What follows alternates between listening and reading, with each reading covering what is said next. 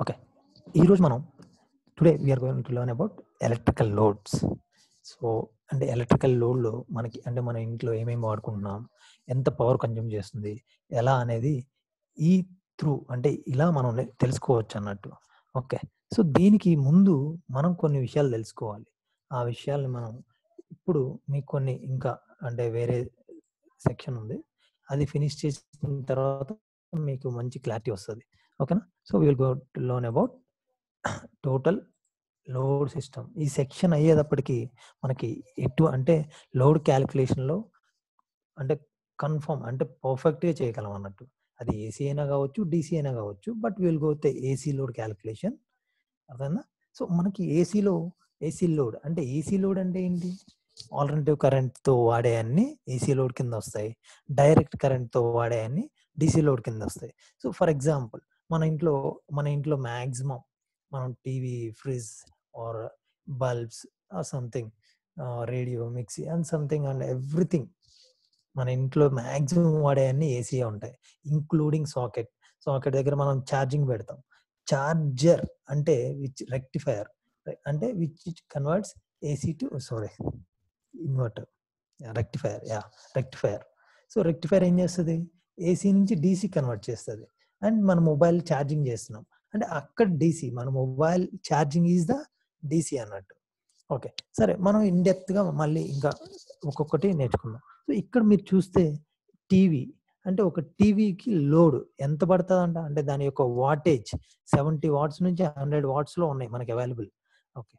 అలాగే ఒక ఫ్యాన్ మన దగ్గర ఉన్న ఫ్యాన్ తీసుకుంటే ఫిఫ్టీ వాట్స్ నుంచి హండ్రెడ్ వాట్స్ అంటే డిపెండ్స్ అపాన్ కంపెనీ మీద ఉంటుంది.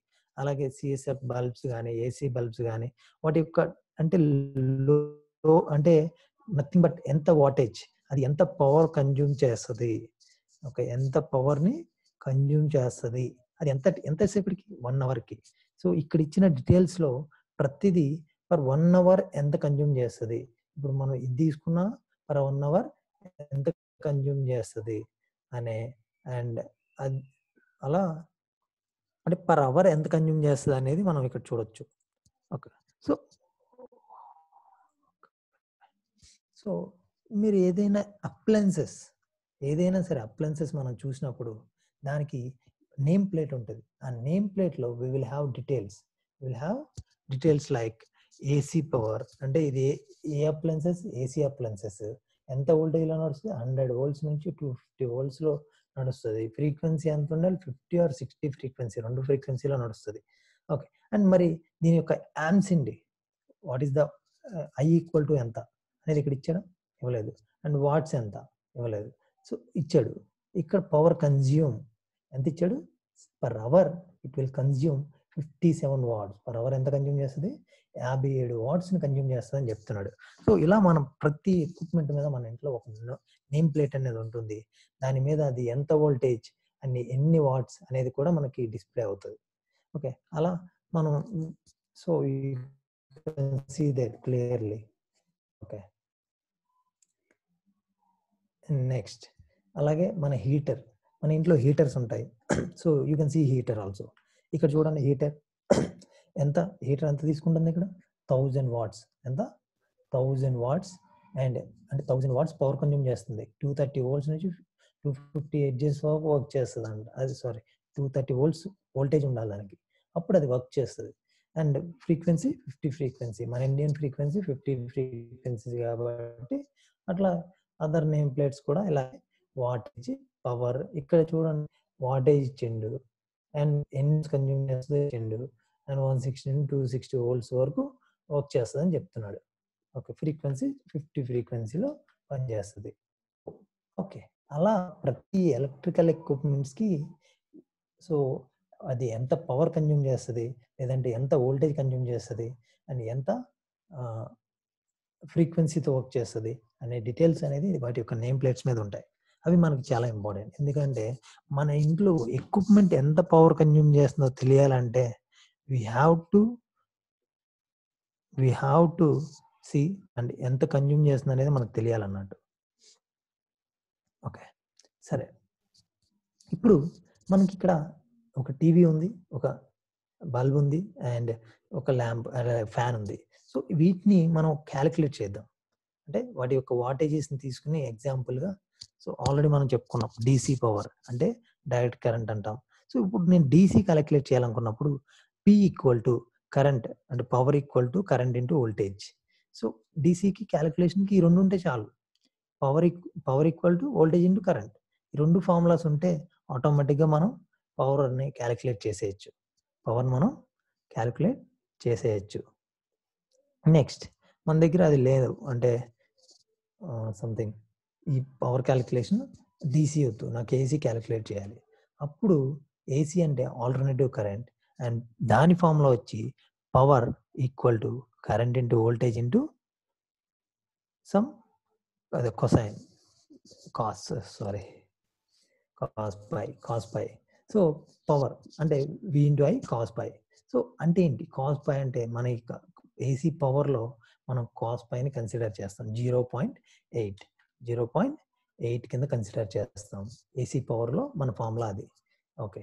సో ఇప్పుడు మనం మన లోడ్ ఏంటి? ఆల్రెడీ మనం ఎగ్జాంపుల్ లోడ్ తీసుకుందాం okay total load.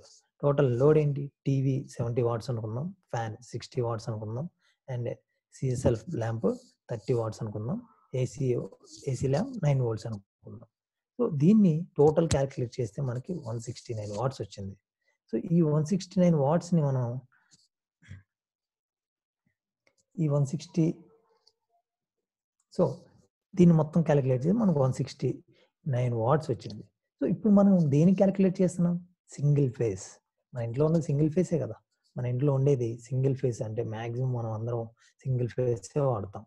So single phase అంటే టూ థర్టీ అంటే టూ థర్టీ వోల్ట్స్ అంటాం. టూ ట్వంటీతో క్యాలిక్యులేట్ చేయొచ్చు no problem. So two twenty volts అనుకుందాం.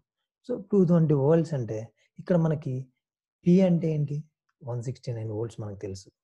అదే వన్ సిక్స్టీ నైన్ వాట్స్ మనకు తెలుసు. వోల్టేజ్ అంటే ఏంటి? టూ ట్వంటీ వోల్ట్స్ అనుకున్నాం. అండ్ కరెంట్ మనకు తెలియదు. అండ్ కాస్ పై అంటే ఆల్రెడీ మనకు తెలుసు.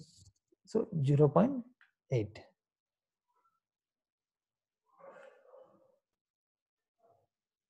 okay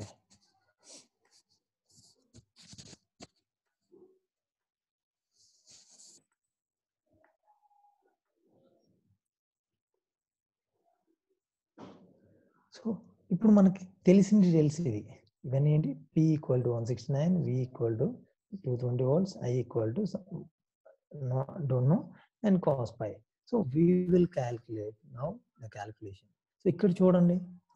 ఫస్ట్ నేను ఏం చేశాను? ఇక్కడ ఐ ఈక్వల్ టు నాకు ఐ తెలియదు అంటే పి బై వి మనకు ఆల్రెడీ ఫార్ములాస్ తెలుసు. So P by I equal to four by voltage so అంటే పి బై వి కొసైన్ అంటే మనకి పి అంటే ఏంటి ఆల్రెడీ తెలుసు. పి అంటే వన్ సిక్స్టీ నైన్ అని అండ్ వి అంటే వన్ టూ ట్వంటీ అని అండ్ మనకు అది తెలిసిన దాంతో క్యాలిక్యులేట్ చేసి సో ఫైనల్గా మనకి ఈ అంటే ఇప్పుడు మన లోడ్ మన ఇంట్లో ఉన్న లోడ్కి ఎన్ని యామ్స్ రిక్వైర్డ్ అంట? జీరో పాయింట్ నైన్ సిక్స్ అంటే ఒక లెస్ దాన్ వన్ యామ్ మన రిక్వైర్మెంట్ ఉంది ప్రెసెంట్ యామ్స్ ఇది లోడ్ కరెంట్ మాత్రమే. దీన్ని ఏమంటాం మనం? Load current. లోడ్ దీన్ని లోడ్ కరెంట్ అంటాం. సరే దీని వల్ల మనకు తెలుసుకుంది ఏంటంటే లో